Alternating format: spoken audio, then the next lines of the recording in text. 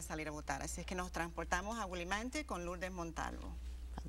Mi nombre es Lourdes Montalvo, directora de Asuntos Constituyente. Yo represento eh, la Secretaría del Estado en el grupo de Hartford Vote or Hartford Voter Coalition, que es una coalición de unos 14 miembros de diferentes agencias sin fines de lucro aquí en la ciudad de Hartford. Este es uno de 11 grupos que hay en el estado de Connecticut. Estas coaliciones se están formando por todo el estado de Connecticut para llevarle información no partidista a la comunidad hispana, a la comunidad latinoamericana y del Caribe.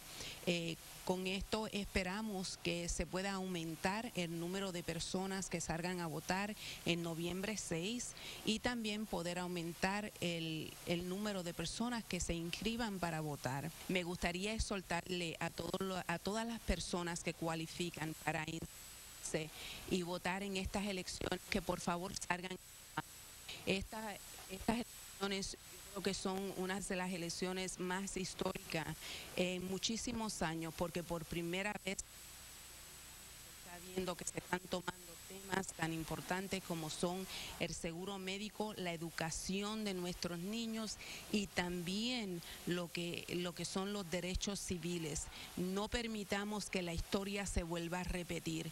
Conérico es uno de los pocos estados donde no se requiere una identificación con fotografía para poder votar en las elecciones. Eh, si tiene algún documento que tenga su dirección y su nombre, eso puede ser como identificación, lo pueden utilizar como identificación